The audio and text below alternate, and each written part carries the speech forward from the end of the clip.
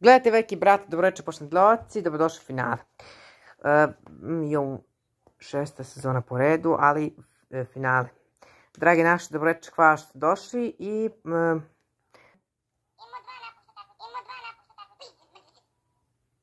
kao što smo rekli i krećemo sa kandidatima. Počne naš kandidat, ajde. Dalje ide, dalje ide, dalje ide. U finale ide kandidat pod jednim brojem. 9. Mijoš Vučić, bravo, bravo Mijoš, Miloš Miš.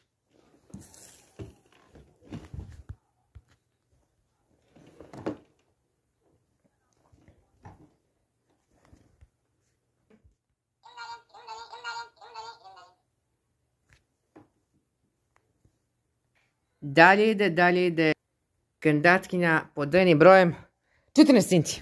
Bravo Cindy, bravo, bravo. Uspjeti začeti, hvala.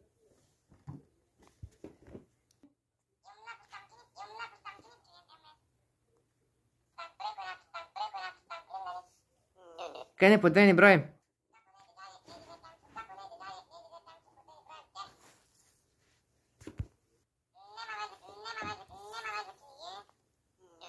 Idemo dalje. U sljedeće kolo ide kandidat pod dnevnim brojem.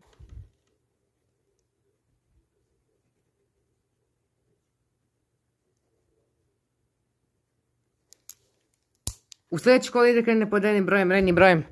12 Stevici Dačić, bravovici. Vrati se sva mjesta.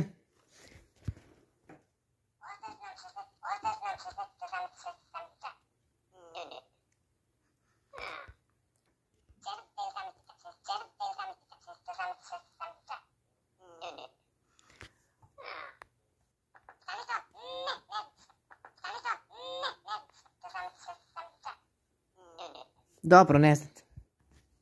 Aja, da, ne, da, stani se kaže.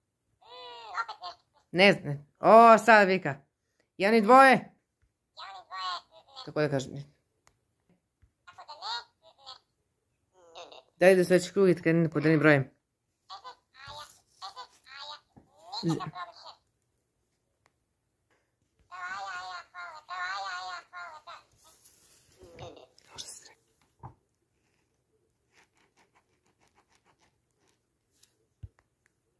Imamo četiri finalista. Imam četiri takmičara, vidimo se sutra. Hvala.